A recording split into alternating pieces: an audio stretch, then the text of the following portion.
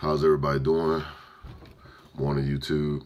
Uh, today I'm here to talk about the uh, Security Plus SY501 exam. Um, I'm in the military, uh, stationed at Fort Bragg. I just passed the exam uh, two days ago, which was Friday. Today's Sunday. Uh, I was very, very excited. It's like a load uh, off my shoulders, like a big time relief.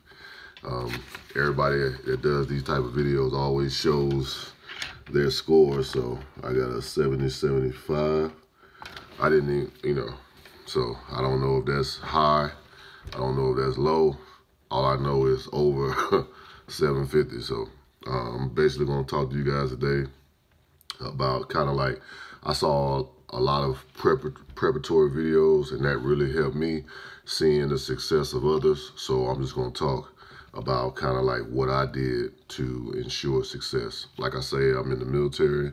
Um, you know, I always send my soldiers to take the exam. You know, a lot of them fail. You know, some of them pass, but a lot of them fail. So basically what I did was, you know, I kind of like interviewed or talked to the soldiers as they was coming out. Hey man, what was it like? Oh, it was hard.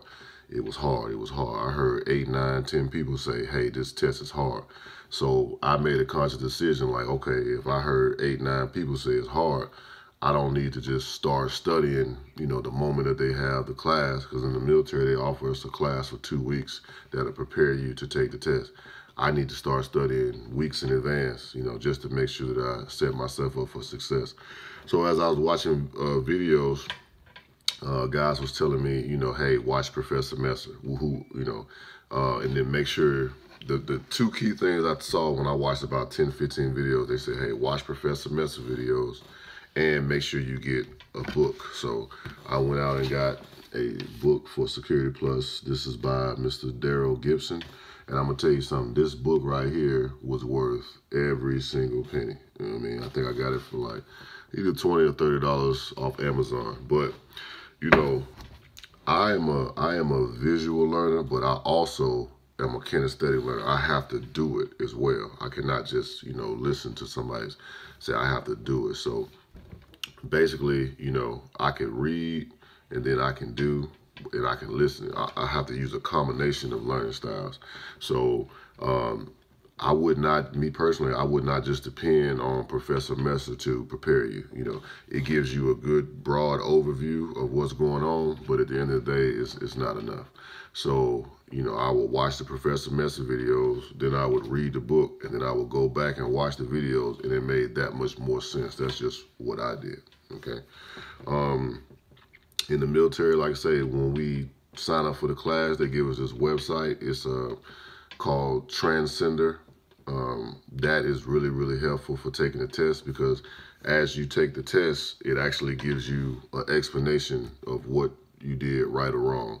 I remember that like when I was taking those CLEP exams a long time ago and they would give you like a little CD that go with the CLEP book.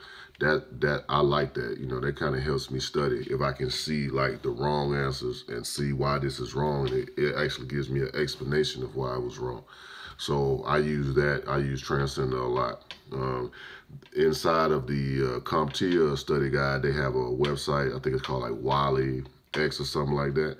Uh, I actually use that one as well to take the exam. Sometimes I would take them with the explanations. Sometimes I would take it in exam mode where it's just like you just take the test and it gives you the uh, score at the end.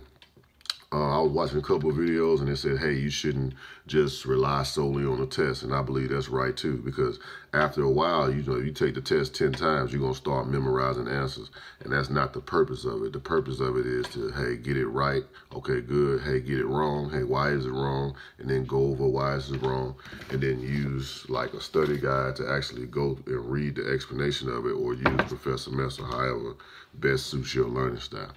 But, um, I will say, you know, um, my just to wrap everything up, the last state of advice that I would say is, hey, you know, for those of us that's in the military and they give you that two-week class, uh, please do not wait uh, for that two-week class to begin to start studying. You know, you should probably start studying, you know, three to four weeks before that class. That way, when you get in that class, you know, you that's just a, like a review. Like just for me, I think I started studying three weeks before the class, and I and I studied one domain every week. I started from the first domain, which is like what 22% of the exam.